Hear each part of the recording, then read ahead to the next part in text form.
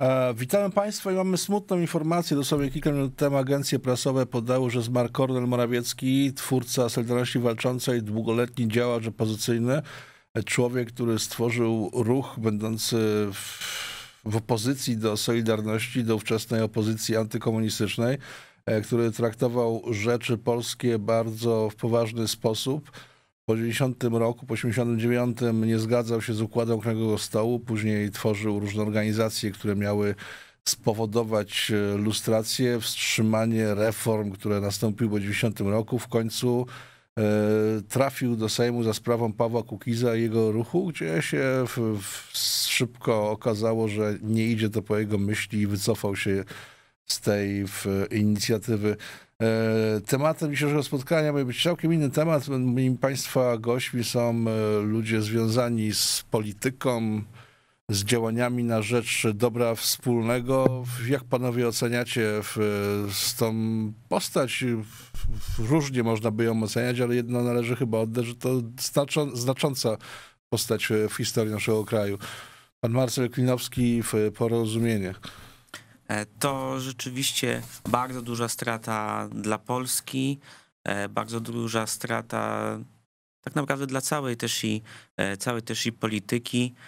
Człowiek o bardzo dużych dokonaniach dla Polski, bo to przecież nie tylko ojciec premiera, ale osoba, która swoim życiem pokazała, jak należy walczyć o wolność, o suwerenność naszego kraju.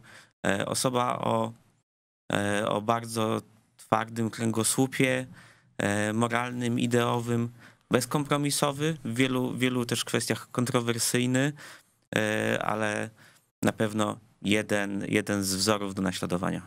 Pan jako przedstawiciel Platformy, myślę, znaczy, jakie pan ma zdanie o... Panie redaktorze, no ja pamiętam jednak te czasy lat 80., kiedy kiedy Kornel Morawiecki zbudował Solidarność Walczącą. Wrocław oprócz pewnie Trójmiasta, Gdańska i Warszawy był tym centrum e, takiej działalności opozycyjnej e, w Polsce i to przede wszystkim właśnie dzięki Kornelowi Morawieckiemu. Ta Solidarność Walcząca to nie tylko był Wrocław, to też był Poznań, właśnie przedstawiciele mm, czy obecni członkowie kierownictwa Platformy Obywatelskiej e, działali, tak jak Grzegorz Schetyna i Rafał Grupiński, właśnie w stworzonej przez Kornela Morawieckiego e, Solidarności Walczącej. Także ja te czasy też w miarę dobrze pamiętam. E, pamiętam jego brak zgody na to, co się stało w 1989 roku, czyli na okrągły stół. I myślę, że to jest jedna z tych największych postaci e, minionego e, czasu i należy mu się naprawdę godne państwowy, państwowe pożegnanie.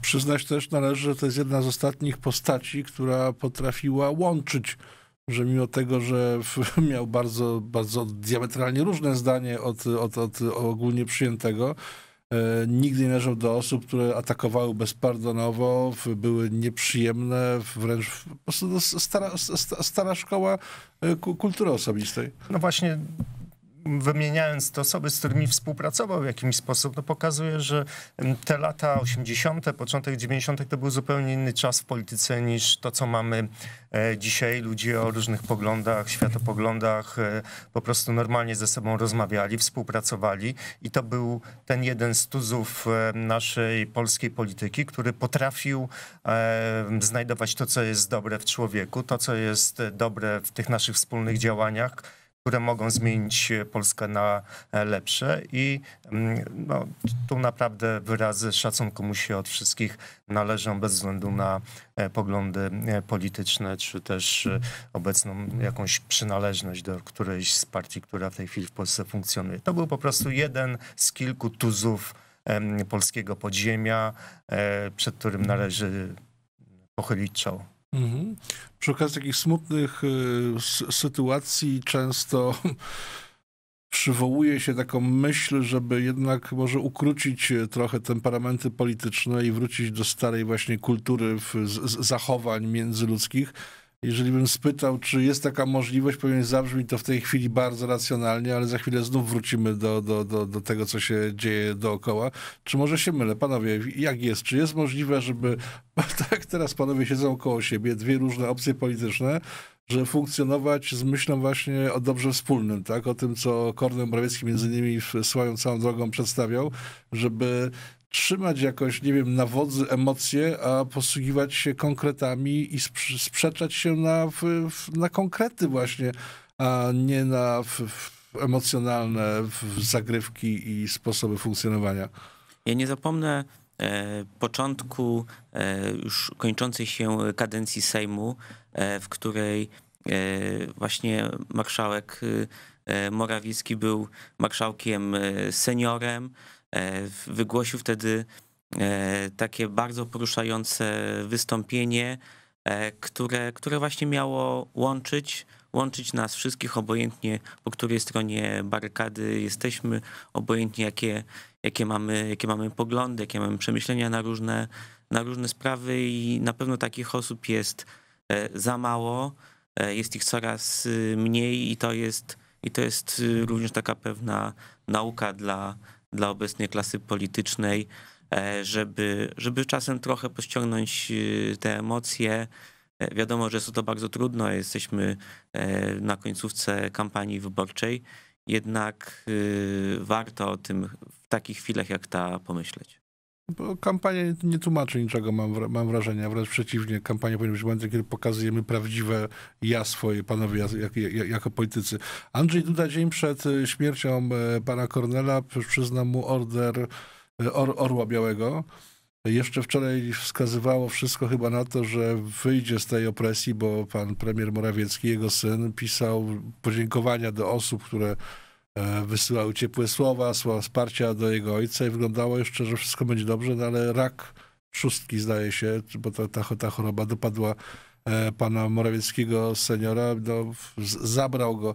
E, czy poza, czy poza takim upamiętnieniem w postaci właśnie pogrzebu państwowego, odznaczeń, coś więcej uda się, powiem tak w brzydki sposób, może uzyskać z, z, z tej sytuacji? Jest szansa, żebyśmy właśnie stanęli nad grobem człowieka, który tak, właśnie tak mówiłem, bez nienawiści, bez zbędnych emocji, w sposób konkretny, często twardy i budzący emocje, ale jednak trudno było atakować y, y, to, to co mówił, stworzył duży ruch społeczny, potrafił przez całe lata przeciwstawiać się systemowi i robił to bez grama agresji. Tak może to jest jakaś wskazówka dla dzisiejszych polityków, żeby jednak powstrzymać emocje. Panie redaktorze, ja uważam, że politycy zawsze powinni rozmawiać, e, powinni znajdować wspólne, e, wspólne cele, dążyć do tego, żeby jednak szło nam się wszystkim lepiej, wygodniej. Natomiast e, no niestety różnimy się tymi drogami dojścia do, myślę, do, do tego celu. I niestety kampania wyborcza, nie tylko kampania wyborcza powoduje, że te media społecznościowe, czy generalnie e, media w tej chwili lubią właśnie znajdować różnice i czym te różnice są większe, bardziej wyraziste, e, bardzo często niestety przekraczające jakby granice dobrego smaku, tym no, dla mediów lepiej, bo jest więcej lajków, lepiej, le, więcej e, udostępnień. To działa w ten sposób, że jednak chyba w każdym z nas jest coś takiego, takie patrzenie, że jak coś gdzieś się dzieje źle albo z kogo się śmiejemy, no to, to jakby czujemy się lepiej. No okazuje się, że te media właśnie społecznościowe zbudowały taki mechanizm, który w moim odczuciu nie jest dobry, tak? Mhm. Natomiast oczywiście y, zawsze tak przy takiej, e, w takiej chwili, ja pamiętam, no, trudno to porównywać, ale jednak po katastrofie smoleńskiej też było, były dni, było kilka tygodni, kiedy wszyscy jakby e, z zadumą na ten temat e, rozmawiali, myśleli e, i myślę, że wiele osób sądziło, że to zmieni naszą politykę. No, to było tylko kilka dni i tutaj też jestem niestety pesymistą, że po tym upamiętnieniu, które w najbliższych dniach na pewno będzie miało miejsce, jestem przekonany, że kiedyś będzie upamiętnienie takie, e, takie e, rzeczywiste w postaci nazwania ulicy, czy też w inny sposób. Natomiast polityka wkroczy w swoje br brutalne tory i niestety, i niestety tutaj mm, no, znowu ugrzęźniemy w takich jałowych sporach, które bardzo często do niczego nie prowadzą ma pan rację, że media z tego żyją, że społecznościówki nakręcają atmosferę, ale politycy nie są bez winy, wręcz przeciwnie, wykorzystują te nastroje społecznościowe do, do, do, swoich, y, do swoich interesów. Oczywiście, oczywiście też nie wszyscy politycy, bo są tacy, którzy nie dążą do e, zwiększenia tych zasięgów i swoich lajków. No problem tylko jest taki, że najczęściej ci, którzy tak nie postępują, przestają istnieć w mediach i żegnają się z polityką.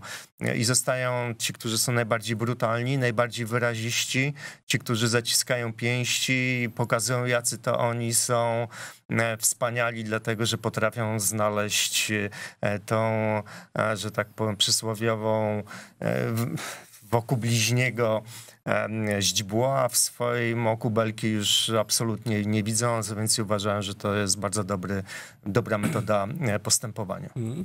Ja pamiętam parę programów właśnie z, z Koronelem Morawieckim, z panem Koronelem Morawieckim, w którym e, on w dyskusji używał takiego sposobu, który dzisiaj chyba rzadko jest spotykany, bo nie mówił na przykład ty kłamco, oszuście, tylko mylisz się prawda jest taka i taka. Możesz jej nie znać, możesz nie mieć wiedzy, ale nigdy nie określał kogoś mianem e, perfidnego kłamcy przy tych wypowiedziach, co jest dzisiaj bardzo przyjęte, tak? bo jeżeli ktoś się na przykład myli w rozmowie, automatycznie jest atakowany właśnie od kłamców, oszustów, manipulatorów, a Kornel Morawiecki potrafi tak spokojnie wytłumaczyć, jak jest w rzeczywistości. To nie jest tak, że pan jest gorszy ode mnie, że pan ma trochę mniejszą wiedzę na ten temat. Ja mam w innych tematach większą wiedzę.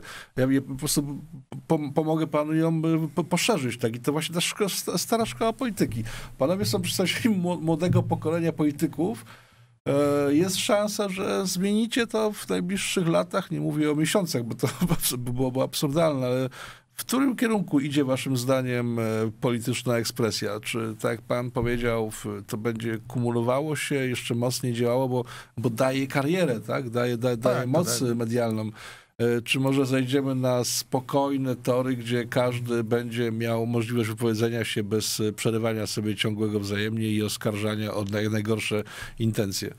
Tych emocji zawsze będzie w polityce dużo, chociaż E, możemy zauważyć, nawet patrząc na, na listy wyborcze, że niektóre te najbardziej kontrowersyjne osoby, niektórzy najbardziej kontrowersyjni posłowie e, już na przykład na, na listach Zjednoczonej Prawicy się nie pojawili, tacy jak profesor Krystyna Pawłowicz, e, która, która tak naprawdę już kończy, kończy karierę, a powodowała bardzo wiele emocji E, u, i u przeciwników politycznych, no a, także, a, a także i e, w opinii publicznej, e, czy też takie osoby jak Dominik Tarczyński też jest 15 na liście, więc jest nie jest, nie jest to jeden z liderów z też takiego przekazu. Pan Niesiołowski, tak, który ewidentnie wprowadzał taki niepochowany ferment, to jest, nie, ferment jest czymś pozytywnym, bo da, daje możliwość rozwoju, ale po prostu ja widziałem wypowiedź pana Niesiołowskiego sprzed kilku dni, kiedy w kierunku pana Schetyny wyrażał się w taki sposób, jak jeszcze parę lat temu w,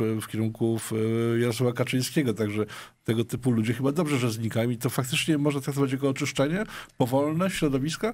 No ja mam nadzieję, że w tą stronę będziemy szli, natomiast jeśli chodzi o pana Niesiołowskiego, no to miejmy świadomość, że on chyba miał jakieś inne swoje osobiste problemy, stąd mm, e, jakby biorą się, brał się te jego E, ostatnie e, wypowiedzi. Natomiast no rzeczywiście, bo mm, jest to polityk też dużego formatu, ale który w mojej ocenie w niektórych wypowiedziach przekracza właśnie tą e, tą granicę poważnej, poważnej dyskusji. Natomiast czy młode pokolenie ma szansę?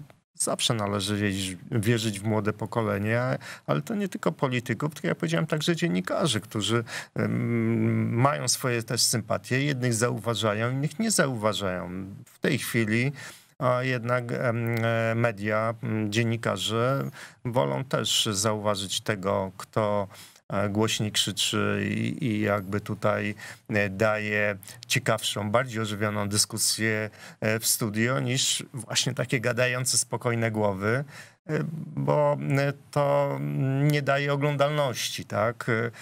I tutaj wina takiej, takiemu postępowaniu leży po, po, po wielu stronach. To, to, to nie jest tak, że, e, że, że tylko po stronie polityków. Zresztą powiedzmy sobie Dziękuję szczerze, panu że... bardzo. Musimy kończyć tą pierwszą część, kiedy wspomnieliśmy Kordona Morawieckiego, który zmarł dzisiaj, przypominam, e, twórca Solidarności Walczącej, wieloletni działacz opozycyjny w czasach komunizmu. Zostawiam państwa z tą myślą na parę minut. Dziękuję bardzo. Panowie.